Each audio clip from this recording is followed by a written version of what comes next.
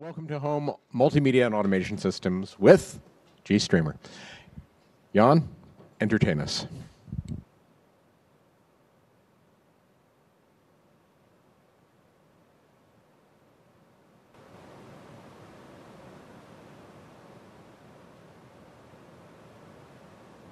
Um, so I'll start with the home automation bit, which I think is a dream for a lot of people here, possibly a reality for, for some, and for me has a few connotations around how I think uh, uh, an automated smart home should work, most of which you've probably seen if you've ever watched an Iron Man movie. Um, I think they captured the essence of what people envision as a, a smart home, a thing that's you know, smart enough to be aware of your needs without you actually needing to tell them. Smart enough to control the appliances around your house and turn them on or off. Smart enough to tell you when something is not normal. And context aware. They, you know, they, they're watching you but not in the creepy surveillance sense that we've all become so used to. They're, they're monitoring you at all times to know what your needs are, but they're not sharing it. So there, there's, a, there's a word missing there, which is also trustworthy. And I don't think any of our existing home automation commercial solutions are like that. And there are a few big players in that field that, um, that you, you'll all know as well. The Google Home Google Assistant version, the Amazon Alexa uh, smart boxes, the Apple Siri HomePod ones. They all do pretty much the same thing with various, you know, that one doesn't work with that device. This one only, this one does an extra thing, but you, you can't, you can't put them together in the same house. They don't talk to each other. Everything is a, an isolated silo of functionality both in the you know, the ecosystem you choose to use. I know people that have Google Homes and Alexas in so that they can, in their house, so that they can access bits of, the, of both silos. But otherwise, there's no interaction between them. And more than that, the devices and the integrations that they talk to are all closed silos as well. They, there's, there's as yet no standards for um, well, one, uh, one that I've been looking at lately, I, I bought a, a smart vacuum. It has run around my house and using its distance sensor, it has built quite a good map of my house that it can show me on the phone and it sent it to someone in China because that's what they do. But I can't get that map out except to, to take a screenshot of my phone. There's no API for me to use that bot to tell any other appliance in my house what my house looks like. So they're not that smart yet. And worst of all, they're all cloud-based. They're all sending my data somewhere else unless you work hard to prevent it. But then if you do prevent it, you're cutting yourself off from some of the functionality they offer. And I think that's a terrible place for us to be going design-wise as a society, as a civilization. So we need to do what we do at Linux, conf.au, and in the free software community, and that's to innovate bits of free software and build our own competing ecosystem where we know what's in the box and we trust it and we built it and we can modify it and we can add these sharing features if we want. And there's a bunch of keywords I threw down on the slide as well. You could add more and build word clouds around these, these things. There's, uh, but to my mind, there's the, these high level projects that we really ought to be supporting and watching. The Mycroft smart assistant that is going to be, you know, I think is currently the best candidate for our competitor to Siri and Alexa and Google Assistant. Runs as a stack of Python on a, a device of your choosing and has extensible skill sets that you can add your own integrations by writing a Python module. And people are doing lots of those and they, they're stored in GitHub. And um, that's great. It, it then depends on a few features. So Mycroft works by recording your voice. sending it to them. Well, first they're listening for a hot word, so that's your privacy constraint. They, they locally recognize you saying, hey, Mycroft. And that triggers it to start to wake up, and then your audio is being sent somewhere else for recognition. Generally, that's configurable, but the default is you use their their Mycroft-based system where your audio is sent to them, anonymized, and then fed through Google's recognition. So Google doesn't know wh- who it is, but they've still got a copy of your voice print from that. They're doing voice ID on it. It's still not ideal.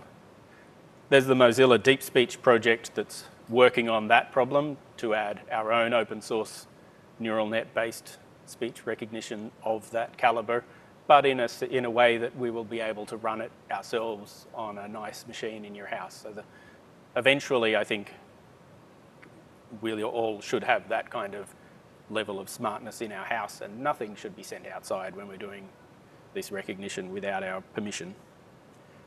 So something like Mozilla Deep Speech, we need that for the voice recognition part. Then there's text to speech options, which is once you've got something to say, once the assistant has something to say, it needs to turn it back into audio to respond to you.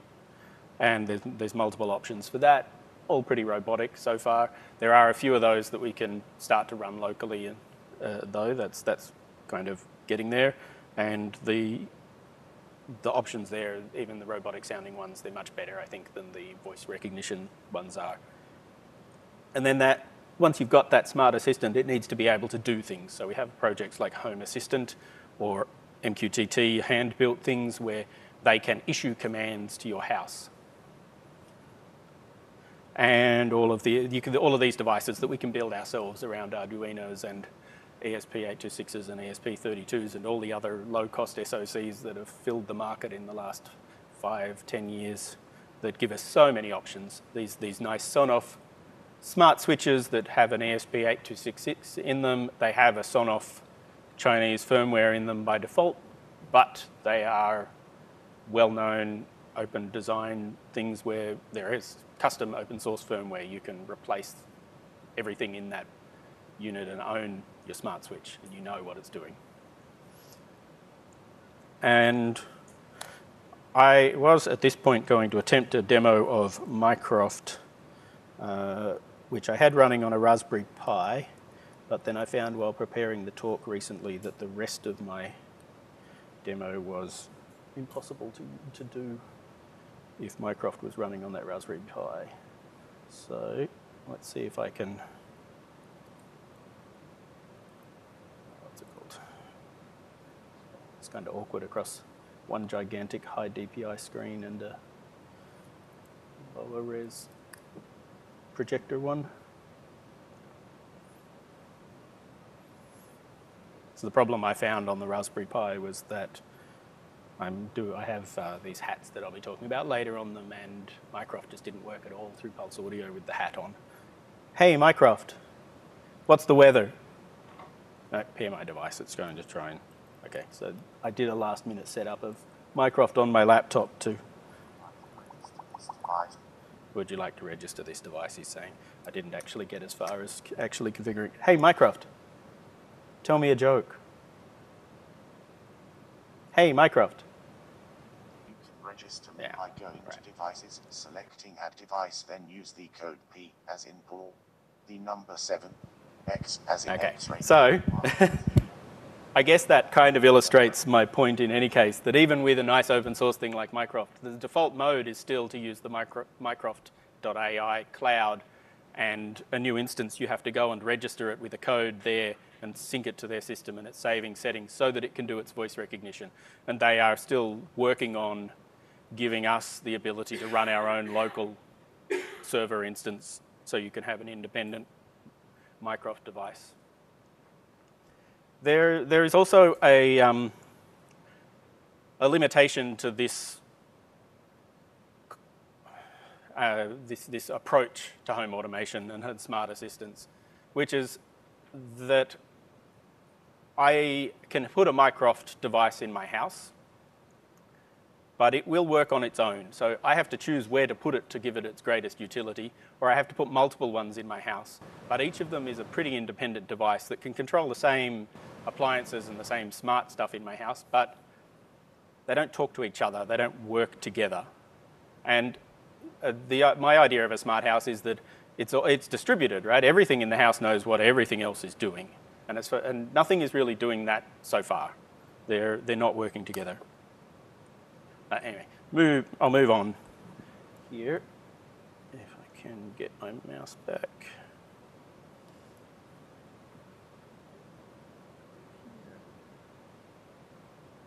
Slide. Okay. So this talk is also is, is about GStreamer. Because I'm a GStreamer developer, uh, I've been a GStreamer maintainer for 15 years. So everything I do that as a, as a project, I tend to think of what can GStreamer do. So my focus here is, I've, I've talked about a bunch of projects that other people are working on, and I think they're doing a pretty good job for, for most of it. Um, but there are a few specific things that are close to my heart that I wanted to, to share, and the things that I'm going to show you are basically sketches in the, the direction of where I'd like to go. Uh, nothing is a complete product. Um, for people who don't know what GStreamer is, you've probably had it installed and used it at some point and then bypassed it to go installed by a VLC, perhaps. Other people have used it extensively because it, it is useful for their, their job. GStreamer is a multimedia processing framework that underpins a lot of the multimedia apparatus in your default Linux installs. And the core concept of GStreamer is to build a pipeline of processing elements that do something with with some form of data. We usually use it to process multimedia, but not exclusively. It doesn't care what the data is, as long as you define some kind of, this thing goes to here and then gets processed and turned into that. It's, it's used for non-multimedia purposes as well. In particular, we're, pr we're proud that it's used by the LIGO Observatory to run experiments on the data they gather from the gravitational wave instruments and was instrumental in the discovery of gravitational waves. So they, they find it super useful because they can set up massive GStreamer pipelines to process the data from the LIGO instruments in different ways and test different hypotheses on the data. In, uh, in, in the context of what I'm talking about today, I'm mostly going to be showing you audio-related things. So GStreamer can do all the things you would expect to do with audio, such as decode and encode, convert it into different formats, get it out into a microphone, get it out, an, out a speaker, change the sample rates, split stuff apart, join it together.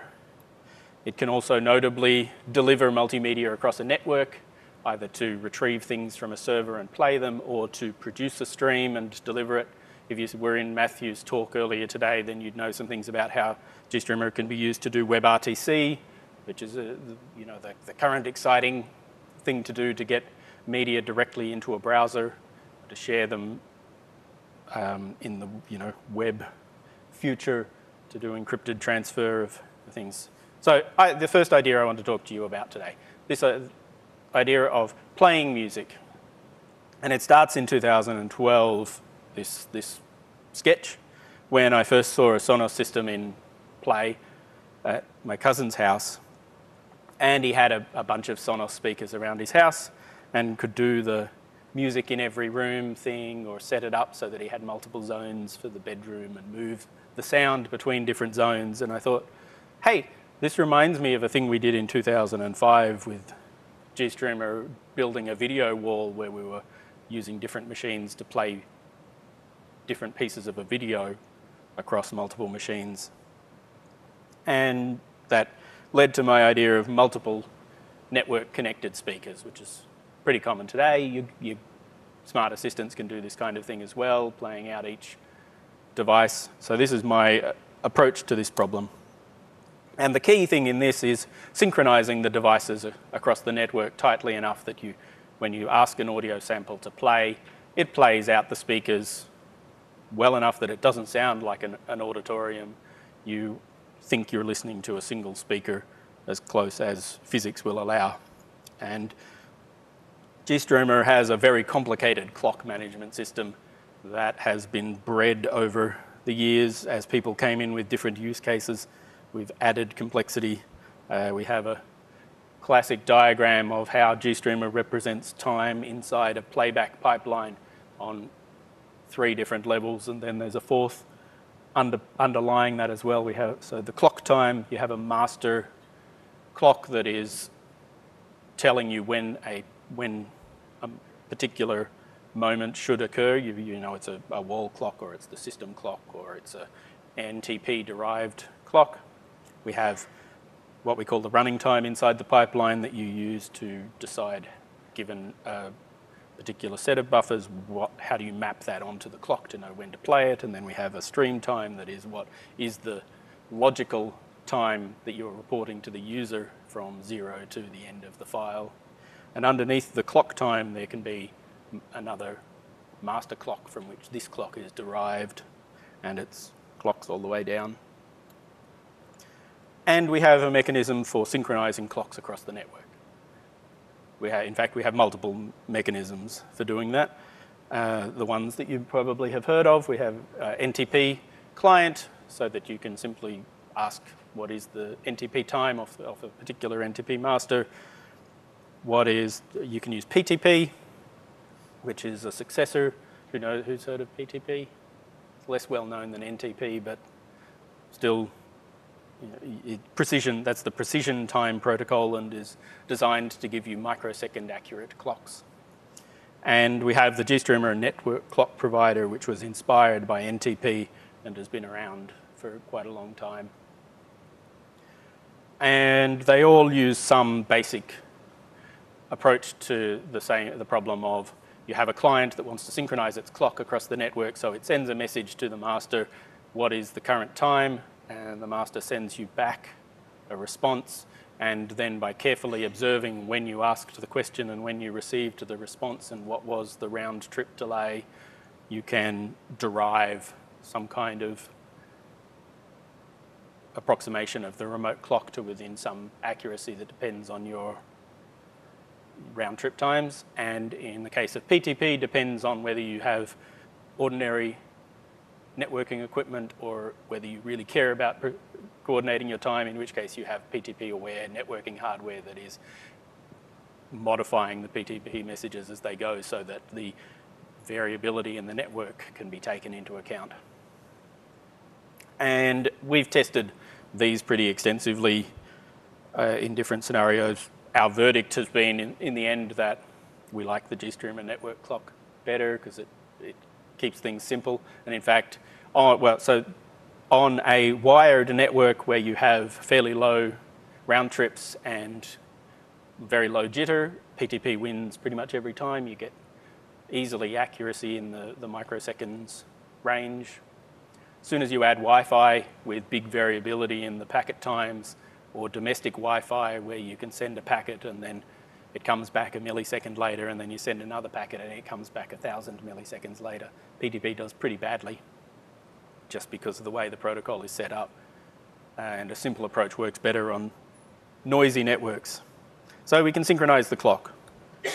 And then I have a thing that's called Arena, where we can, where I've built a control server daemon clients that are um, you run on multiple machines. They synchronize themselves to the clock that the server is publishing, and they talk to each other. They send JSON messages back and forth between each other over WebSockets, and a web browser UI that is exactly as simple as I need it to be and hard. You know, it, this is not a fully fledged application, but it does work well enough to prove out the concept. So if you'll excuse me a second while I just find this guy. And drag it over here. And I have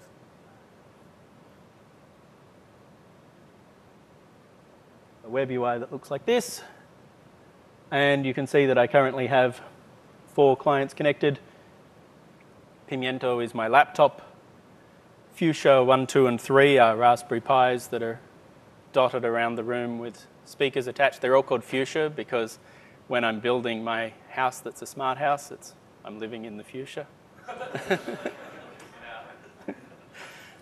that was my joke before it was Google's.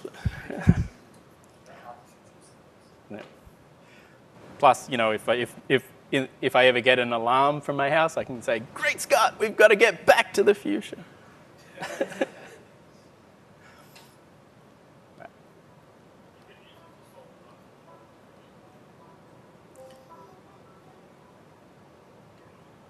can hear or something. Let's do this bit. So there's one here.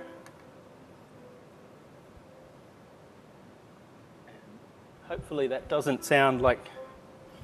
Got one over here. And there's one way up the back there. These are um, not the best speakers in the world, but they cost me $5 each at Kmart. So that's, might turn my laptop down a bit because that's really dominating the sound there. And we got some basic controls for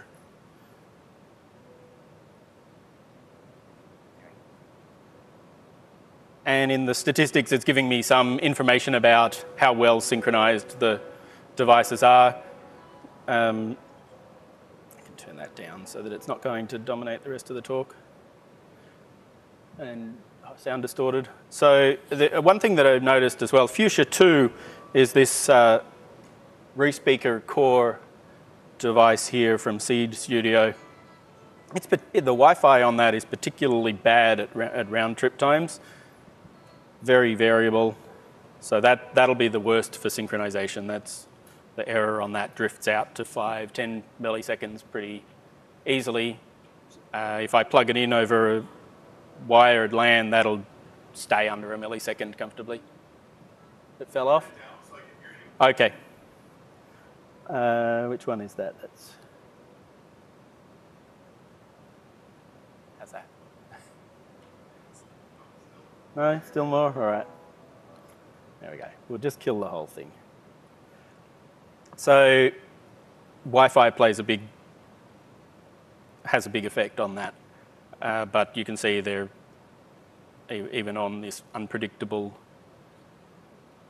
LCA network, they, they stay close enough that it's, you know, it's not visibly echoey. And in fact, we can probably, in a moment, move on to the, the next bit of the, the talk. Ah, so there, this is just a basic sketch, right? Each, each device gets the, the music. It, it's fetching a file over HTTP to, to play it. There are other ways to do that, sending RTP to everyone. Uh, I've, I've, experimented with RTP multicast, but then that's terrible over Wi-Fi, so we don't do, I don't do RTP multicast. Uh, I just send the original audio. And it has problems like when I skip to the next track, it has an audible delay while it moves on to the next track. It can do video as well, so you can run a separate client and have a video window on one machine and then have the audio coming out multiple ones. So you can have something on your TV, but then you can move to a different room and take the video across with you. Um, part of the this amazing UI that I didn't show is the way you can turn each one off or on. Then I can just have my laptop go. Add the one up the back back in and it'll pop back on after a little while. And so you can, you can migrate the video or have in a, in a smart house world, tell it you want it to you want to keep watching that movie and have it move automatically to where you are as you go. That's you know that that's the vision that the house is distributed and smart. So that's that's idea one: audio, um, music playback around my house. Back over here. Two, cameras. There are cameras everywhere. GStreamer is good at video. Um, there are lots of reasons to have cameras around. Um, I have that up on the screen. That's not, that's not my slide. That's my sheep. Uh, I like to check on my sheep. Ideally, I'd like my house to check on my sheep for me. So I'd like to have smart cameras that know what sheep look like, smart cameras that know what dogs look like, uh, I've lost chickens to foxes, smart camera that told me the fox was there, or even a, a, a, house that worked together to have a smart camera that knew that a fox was there with a spotlight that could move to scare the fox away. That kind of thing, thing would be good. So security, monitoring of my yard, someone coming in, I'd like to be able to intelligently record. And there are devices out there that do these, but I haven't built them yet, and GStreamer doesn't have any huge projects that do these, you know, turnkey yet.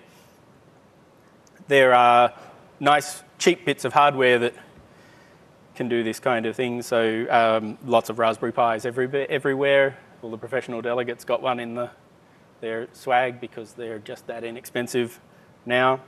The first thing I did was stick mine in my badge and attach a camera to it.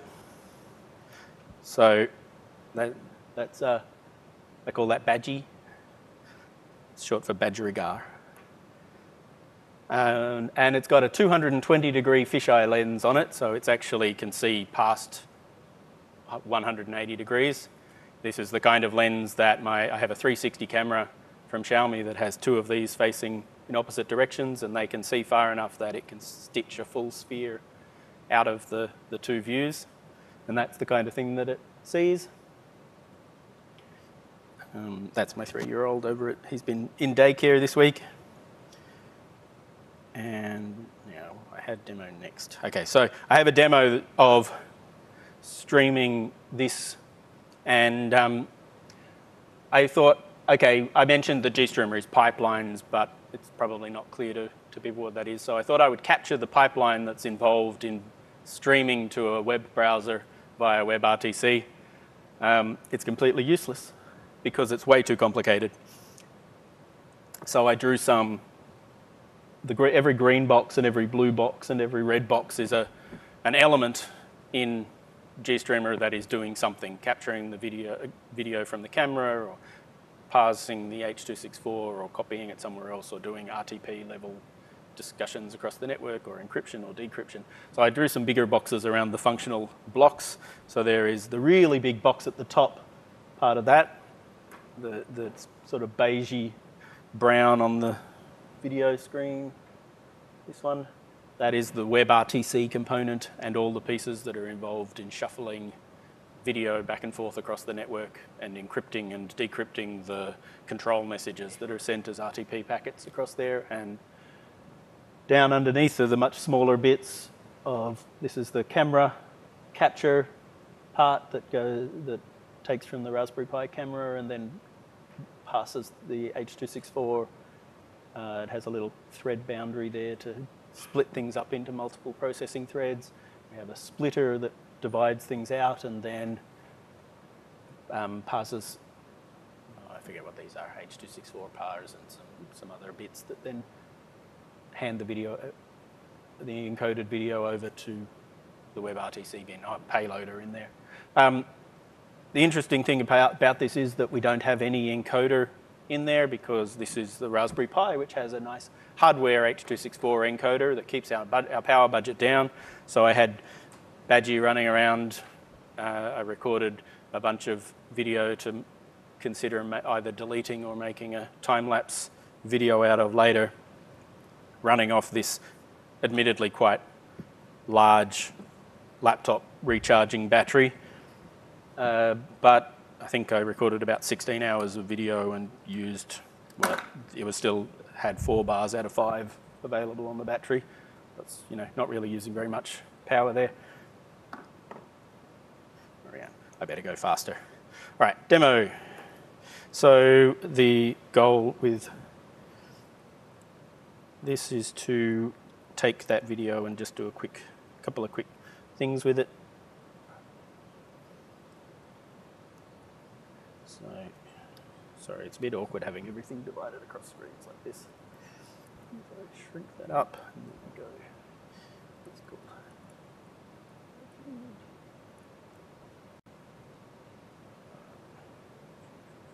Hello, there you all are.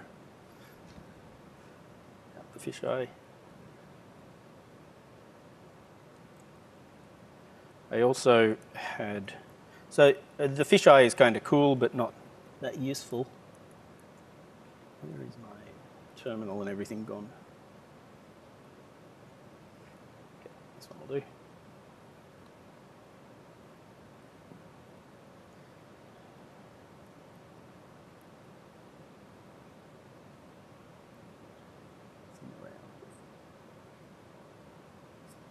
a time.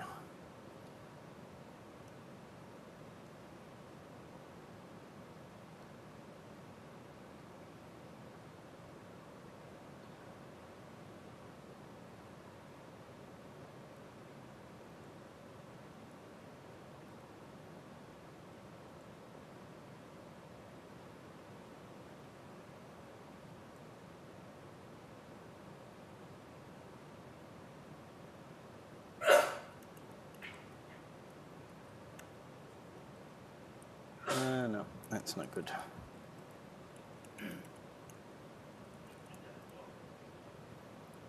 I didn't, but this will work better anyway.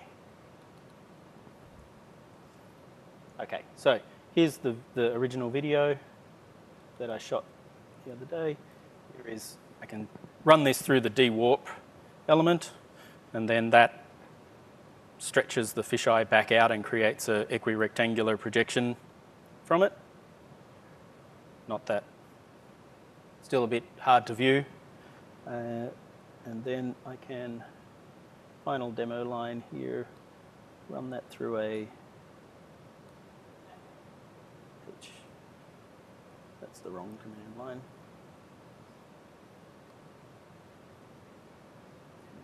HMD warp there. Thought I tested this.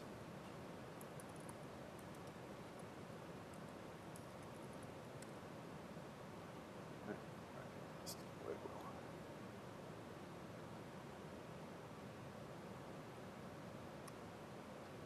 Oh, no way. Have to be in. I have to be in the development environment.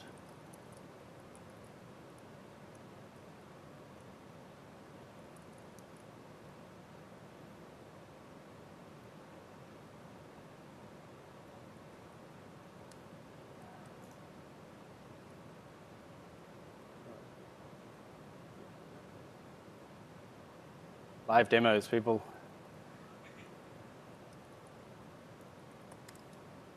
That's better. Okay. This is massive video. Oh, sideways. Turn that around. Can. So now I can have a look around the, the video that I recorded. And, yeah. So the nice thing about that is you can pan around the video afterward and you can put it in VR goggles and you can have a look around. We did a nice experiment taping my 360 camera onto a DJI drone and flying it around my neighborhood. And that's fun to watch in VR. You can just sit there and um, watch yourself floating above the world.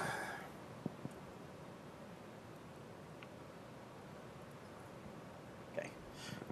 So, GStreamer pipeline. Um, what about the voice control part of things? So I had a secret plan for a long time after I made Aurena to invert the operation that it's doing and use microphones on every device. Um, I've got already got the network clock synchronized, and the idea was to put a microphone on every device and then send the audio back to a central location to create a distributed microphone array that could pinpoint someone's location. And that's part of making my house context aware, because what's better than understanding what someone has asked for is the context around where they were standing when they said turn on the lights, which room they were in when they said pause the music or move the, the TV video here. And I think if you have enough of these things around the house and you trust them, then you can do really interesting things. Like even on, you, know, you can figure out which way was the person facing, what were they looking at at the time that they said to do something. Uh, who knows what a microphone array is? Got a few hands and then a few down. So a microphone array is, is you've got one in your phone. These days, if you have a smart device, you've got one at home. The idea is that you place multiple microphones into a device that are where you can correlate the signal that is being received by each one. They're sampled at the same moment. So you can tell from when the audio arrives at a microphone. So there's three in that example. You have an audio signal coming in from the side, and the audio will arrive later at the left-hand microphone compared to the earlier one. So you can do delayed calculations to figure out which direction is someone standing and what, uh, so you can, you can do which direction, which elevation they're coming from, depending on the configuration of your microphone array. And so I was trying to do something like that with my first attempt at doing this in 2015. And what I did was get a bunch of Android devices and put Aurena on those, use the microphone on the Aurena, on the, the Android devices, and send it to a library that I found called ManyEars, which is written by, among others, Jean-Marc Valin, who uh, we've seen here at LCA in previous years. He's one of the main Xiph codec guys who gave us the Speex codec and worked on Opus. And it's designed, ManyEars is designed to do what they, what they call audition so, and work on robots. And it was designed for robots that have a fixed grid of eight microphones, so it specifically did eight microphones. And it can do localization of a, the direction that the sound is coming in from. Uh, it can track someone moving, and it can separate out individual sound sources.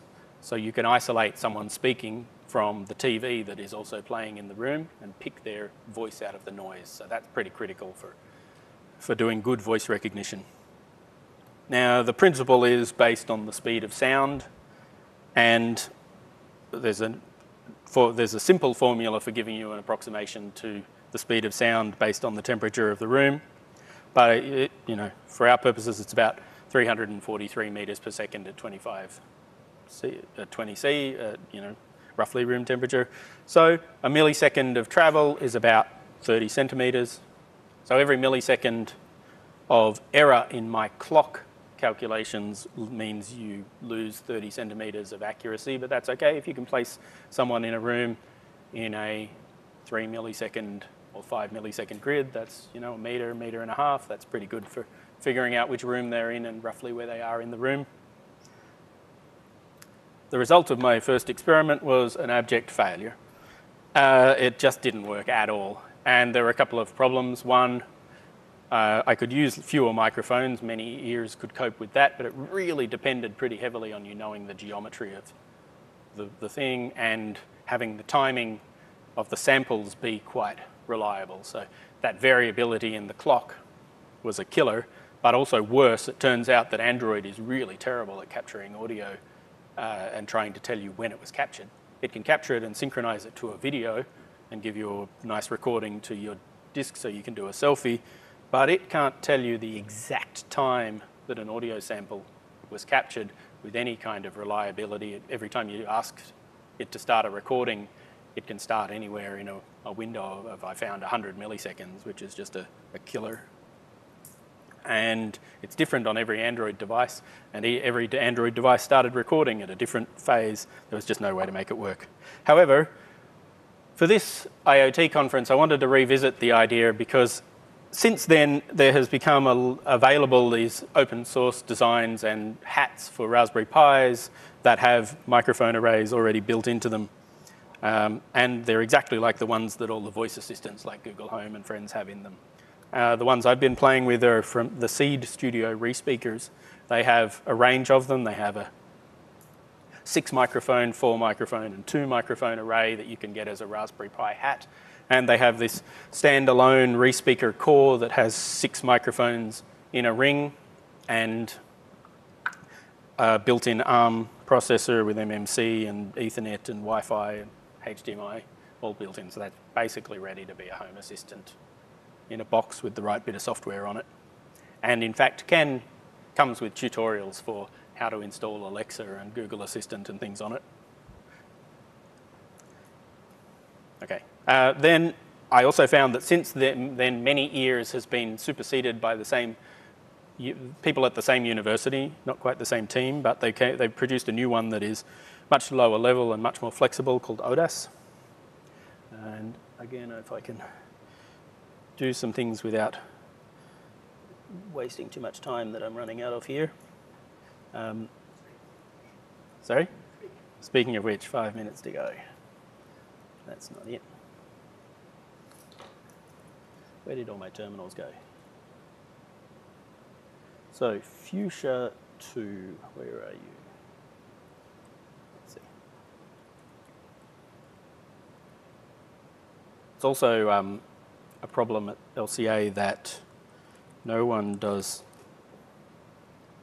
The, they block all of the MDNS announcements on the network for sensible reasons uh, that are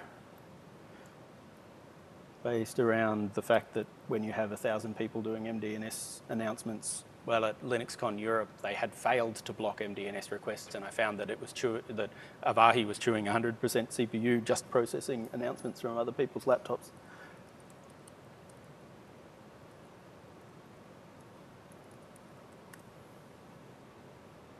Right, so this is the ODAS web that's popped up on the other screen, because why not? Where is it? You can't see a thing. Okay, and go back over here, and on Fuchsia, I'll start the stream.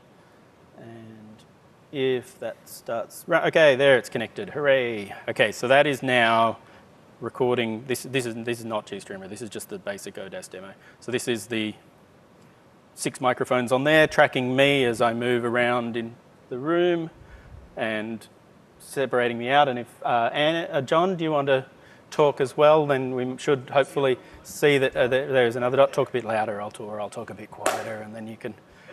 Yeah, then you. Okay, there we are. You're from the front row. You're the blue dot on the other side of me there.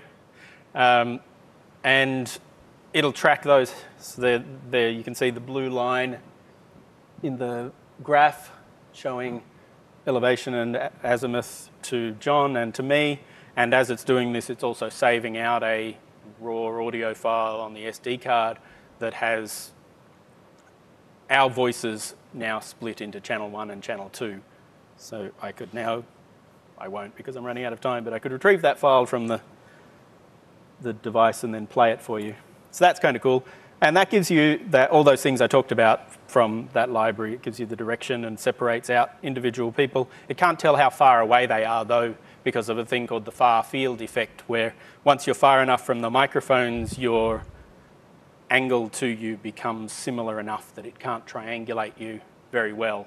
So when you're close, you can get you know two microphones and two microphones, and you can triangulate someone's position. But once you're far away, it can't tell the distance. So there's still a thing that I would like to do. Oh, I did the demo. A thing that I would like to do with Aurena now is to have these multiple microphone arrays on different devices and for them to talk to each other to say, hey, I heard them from there, I heard them from there, they must be standing here. So we can use their arrival direction to position someone again, but it depends on knowing where the speakers and the microphones are relative to each other still. So there's still this problem of calibrating the position of people. There's also problems around um, if I play the same sound out multiple speakers, then the microphone arrays will be very confused because it sounds like the same noise, but now it's coming from multiple places. It can't correlate those samples very well, so that's, that's a, a very hard to solve problem. Um, I have this calibration thing in, that I built as a, a toy again. Uh, here, Google Chrome. You can't you can't see you can't see this doing it, but here we go. I ask.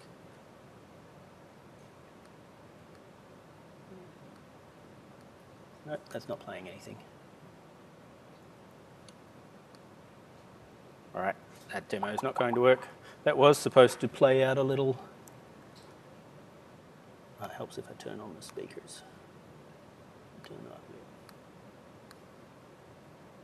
No, no, all right, forget that demo. So I have, I have built this first piece of a calibration thing, which is each node can play a noise and then listen to hear that noise coming from the other microphones.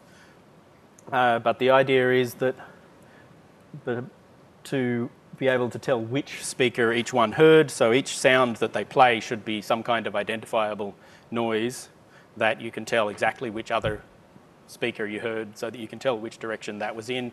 You can triangulate them off each other, is the plan. Uh, but also, maybe they can't hear each other, so I have this question about how loud should you get while trying to shout at each other. This probably needs some human intervention of what's the most comfortable noise for me to hear, or some way of making a really loud thing. All right, stop, that's my time. Um, music that I played there is Creative Commons stuff, and there's some random links here to Oh, when I did this in 2015, no one had done anything like this distributed microphone array stuff yet. But also while prepping this talk, I found that in 2017 people have started doing this kind of thing. So there are some papers around it now. So thank you very much, Sean.